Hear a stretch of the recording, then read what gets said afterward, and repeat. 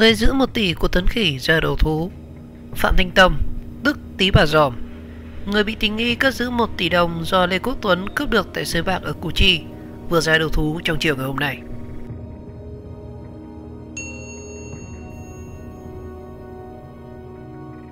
Ngày 3 tháng 2, theo nguồn tin của phóng viên cho biết, sau khi bị truy nã thì Phạm Thanh Tâm, còn gọi là Tí Bà Giòm, người đàn ông này bị tình nghi đã cất giữ 1 tỷ đồng do Lê Quốc Tuấn cướp được tại sòng bài ở Củ Chi, thành phố Hồ Chí Minh đã ra đầu thú.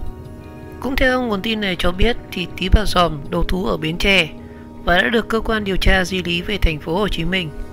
Trước đó thì ngày 2 tháng 2, công an thành phố Hồ Chí Minh đã ra quyết định truy nã Phạm Thanh Tâm, hay còn gọi là Tý Bà Giòm, về tội danh chưa chấp tài sản do người khác phạm tội mà có, quy định tại điều 323 Bộ luật hình sự năm 2015 và sửa đổi bổ sung năm 2017. Bị can này được xác định là đồng phạm cất giữ số tiền khoảng 1 tỷ đồng do Tuấn Khỉ cướp tại sới bạc ở huyện Củ Chi.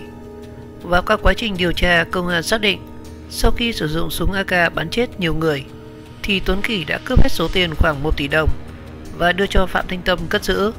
Chiều ngày 29 tháng 1, tức ngày mùng 5 Tết Cảnh Tý, thì Lê Quốc Tuấn cùng với em họ là Lê Quốc Minh, 27 tuổi, ngụ ở xã Tân Thạnh Đông, huyện Củ Chi, đi xe máy đến sới bạc ở Vườn Nhãn, thuộc ấp 5 xã Tân Thạnh Đông, huyện Củ Chi, thành phố Hồ Chí Minh để chơi tài xỉu.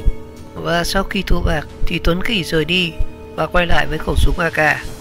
Nghi can này được xác định là người nổ súng vào đám đông tại sới bạc. Và trong khi đang tắm cho đàn bò sữa ở gần đó, thì bà Nguyễn Thị Nguyên 52 tuổi nghe tiếng đạn vang lên. Hàng chục người tháo chạy thùng mạng đi ra đường. Có người lao qua chuồng bò rồi chạy vào trong sân nhà dân để ấm nấc. Sau khi các con bạc chạy mất dạng, thì Tuấn Khỉ đã cướp được 1 tỷ đồng, rồi chạy lên xe máy SH rời khỏi hiện trường, bỏ lại bốn nạn nhân chết ngay tại chỗ, một người bị thương và làm chết một con bò sữa của hộ dân ngay gần đấy. Sau đó thì Tuấn chạy đi đưa tiền cho tí bà giòm cất giữ.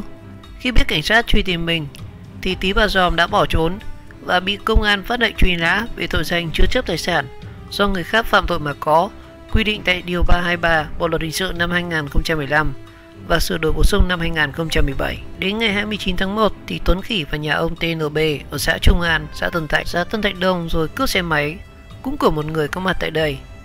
Khi giằng co với nạn nhân thì Tuấn Khỉ bất ngờ rút súng ra đe dọa, rồi sau đó để lại một 11 triệu đồng rồi phóng xe bỏ trốn. Dạng sáng ngày 30 tháng 1 thì anh Lê Văn Hiếu 38 tuổi đang chạy ô tô trên đường 472 hướng về đường Trung An qua vực cầu Bến Nảy thì thấy một người đàn ông nằm gục bên ven đường, bên cạnh là một chiếc xe máy. Anh Hiếu chạy xe chậm chậm để quan sát, thì bất ngờ bị một người đàn ông từ trong bụi cây ven đường lao ra, rồi nã đạn liên tiếp vào chỗ ô tô nhằm cướp xe nhưng bất thành. Anh Hiếu nhanh chân đạp chân ga, chạy thoát thân, nhưng viên đạn xuyên thủng kính xe. Nhiều mảnh kính văng ra khiến anh Hiếu bị thương. Rồi sau đó thì người nằm trên đường bị bắn chết, còn chiếc xe máy của nạn nhân thì biến mất. Công an đang tình nghi vụ bắn người cướp xe này chính là do Tuấn Khỉ gây ra.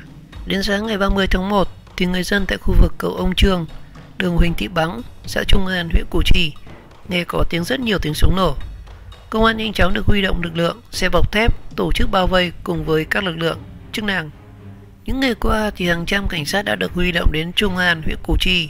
Hàng chục lượt xe chở các chiến sĩ cảnh sát cơ động vào ra liên tục ở khu vực này để vây bắt Tuấn Khỉ. Tuy nhiên thì cuộc vây giáp Tuấn Khỉ vẫn đang diễn ra và chưa thành công.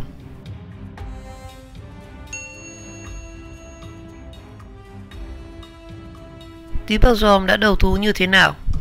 Tí Bảo dòm sau khi bị truy nã đến Bến Tre đã lẩn trốn và thông qua một người quen thì bị can này đã ra đầu thú. Chiều ngày 3 tháng 2, Công an thành phố Hồ Chí Minh đang lấy lời khai của Phạm Thanh Tâm, hay còn gọi là Tí Bà dòm, để điều tra về cáo buộc cất giữ 1 tỷ đồng mà Tuấn Khỉ cướp được sới bạc ở Củ Chi. Và theo một số nguồn tin, sau khi bỏ trốn và bị công an truy nã, thì Tí Bà Giòm đã đến Bến Tre và lẩn trốn.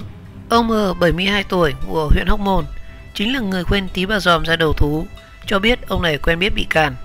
Vào khoảng 20 giờ ngày hôm qua, thì Tí Bà Giòm gọi điện cho ông thông báo đang trốn ở Bến Tre. Người này cũng kể đang dính líu đến vụ án Tuấn Khỉ. Và khi Phạm Tâm Tâm xin được về nhà trú ngụ, thì ông M đã khuyên bị can này ra đầu thú. Tâm nói rằng thì nó không dính líu gì đến Tuấn. Chiều hôm đó xảy ra vụ việc, thì Tâm đang nằm nằm trong nhà, thì Tuấn đến và quăng túi đồ và nhờ Tâm rũ rùm. Tâm thấy Tuấn cầm súng thì hỏi lại Mày cầm súng để làm gì? Mày điên rồi à?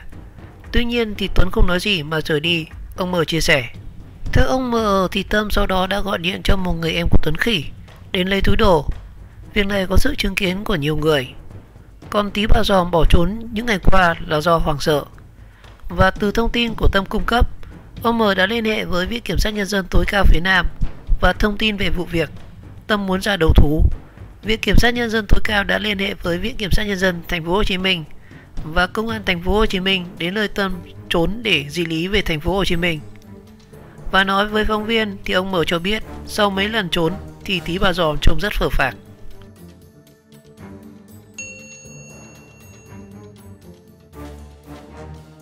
Hai vợ chồng ở Vĩnh Long mất đến 2 ngày tìm đến Củ Chi để xem bắt Tuấn Khỉ. Trong khi cảnh sát khuyến cáo những người dân không tụ tập tránh nguy hiểm, thì cặp vợ chồng ở Vĩnh Long lại mất đến 2 ngày để tìm đến tận nơi Củ Chi, thành phố Hồ Chí Minh xem công an vây bắt Tuấn Khỉ như thế nào. Tuấn Khỉ chưa bị bắt, rất nhiều người vẫn đang đổ về Củ Chi để ngóng tin. Trong sáng ngày 3 tháng 2, rất nhiều người vẫn tiếp tục tập trung ở đường Trung An huyện Củ Chi, thành phố Hồ Chí Minh để theo dõi lực lượng chức năng tìm kiếm Tuấn Khỉ. Và như vậy, sau 5 ngày tìm kiếm thì Lê Quốc Tuấn, 33 tuổi, tức Tuấn Khỉ, nghi phạm bắn chết 5 người ở Củ Chi, thành phố Hồ Chí Minh vẫn chưa lộ diện. Và trong sáng ngày 3 tháng 2, thì cảnh sát cơ động vẫn đang chốt chặt tại các tuyến đường qua xã Trung An, nơi công an cho rằng Tuấn Khỉ vẫn lẩn trốn sau khi gây án. Cảnh sát vẫn đang kiểm soát người lạ ra vào trong xã. Ở phía ngoài thì rất nhiều người dân hiếu kỳ tập trung để chờ đợi diễn biến mới. Ông Bùi Văn Tâm chạy xe hơn 5 tiếng từ Cần Thơ đến xã Trung An để được tận mắt chứng kiến lực lượng chức năng vây bắt Tuấn Khỉ như thế nào. Và nếu đến tối vẫn chưa bắt được thì tôi sẽ ở lại với mọi người ở đây xem chung cho vui. Chạy về cũng gần 200 cây số thì sẽ rất mất công. Ông Tâm nói vào chiều ngày 2 tháng 2. Theo chuyên gia Đào Trung Hiếu, Trung tá nguyên điều tra viên đội điều tra trọng án, Phòng Cảnh sát Hình sự Công an Hà Nội, việc người dân tập trung đông ở khu vực này tiềm ẩn rất nhiều nguy cơ về thương vong, an ninh và cả an toàn. Và trong trường hợp nghi phạm chống trả bằng súng, người dân có nguy cơ bị chúng đạn lạc Bên cạnh đó thì họ cũng chính là cản trở hoạt động truy đuổi của cảnh sát. Có trường hợp nghi phạm bắt người dân làm con tim để khống chế và yêu cầu đối sách đối với lực lượng chức năng. Trung tá Đào Trung Hiếu phân tích. Và theo ghi nhận của phóng viên trong sáng ngày 3 tháng 2, thì lượng người kéo đến xã Trung An không hề giảm so với những ngày cảnh sát bắt đầu vây giáp. Rất nhiều người hiếu kỳ đến từ nhiều địa phương khác nhau. Họ không ngại đường xá xa xôi để có mặt ở điểm nóng. Mất tới 2 ngày mới đến nơi này do ngày đầu vợ chồng tôi đi lạc và xem trên mạng quá tò mò, nên bọn tôi chạy tới để xuống đây luôn. Các vợ chồng đã đi gần 200 cây số từ Vĩnh Long về thành phố Hồ Chí Minh chia sẻ với phóng viên. Nhiều thông tin nhiễu loạn trên mạng xã hội những ngày qua khiến nhiều người muốn trực tiếp kiểm chứng thông tin. Họ đến và ngồi quanh khu vực chốt chặn từ rất sớm. Và đến nay thì công an thành phố Hồ Chí Minh chưa đưa ra nhận định gì về tung tích của Lê Quốc Tuấn và đồng phạm. An ninh tại xã Trung An vẫn sẽ được tiếp tục thắt chặt. Hiện tại thì hàng quán xung quanh vẫn mở cửa cả sáng đêm để quanh hiện trường với bắt Tuấn Khỉ. Rất nhiều chủ hàng ăn vặt tiết lộ thu nhập khấm khá sau hơn 4 ngày khi có hàng trăm nghìn người đổ về khu vực quanh hiện trường để xem với bắt Tuấn Khỉ.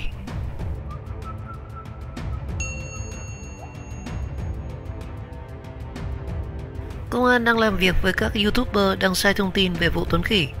Lực lượng chức năng sẽ mời những người livestream đăng video sai sự thật về vụ việc truy bắt Tuấn Khỉ lên để làm việc. Ngày 3 tháng 2 thì Công an thành phố Hồ Chí Minh phối hợp với các đơn vị nghiệp vụ của Bộ Công an và một số địa phương truy lùng Lê Quốc Tuấn, 33 tuổi, tức Tuấn Khỉ, bị can gây ra vụ xả súng làm 5 người chết ở Củ Chi. Ngoài ra thì công an cũng đang truy nã Phạm Thanh Tâm hay còn gọi là Tí Bà Giòm, người được xác định là giữ số tiền khoảng 1 tỷ đồng mà Tuấn Khỉ đã cướp tại suối bạc. 6 ngày sau khi xảy ra vụ xả súng, rất nhiều người vẫn đang đổ về xã Trung An, nơi những ngày qua cảnh sát tung quân vây giáp và truy bắt Tuấn Khỉ. Trong số này thì có những người đến để livestream, quay clip đăng lên YouTube với những nội dung câu like không đúng sự thật và ảnh hưởng đến quá trình phá án của lực lượng chức năng. Và trước tình hình trên thì lực lượng chức năng huyện Củ Chi cho biết sẽ mời những YouTuber đăng sai sự thật về việc truy bắt Tuấn Kỳ lên làm việc trước khi xử lý. Và đến nay thì nhà chức trách cũng bác bỏ thông tin Lê Quốc Tuấn muốn nhờ hiệp sĩ Nguyễn Thanh Hải hỗ trợ ra đầu thú. Công an đang làm rõ người gọi điện cho hiệp sĩ Hải là ai và có mục đích gì. Công an cảnh báo Tuấn Khỉ và đồng bọn là những kẻ cực kỳ nguy hiểm, có súng và rất liều lĩnh. Người dân không nên tập trung theo dõi vụ việc vây bắt để tránh gây nguy hiểm đến tính mạng và cản trở lực lượng chức năng làm nhiệm vụ.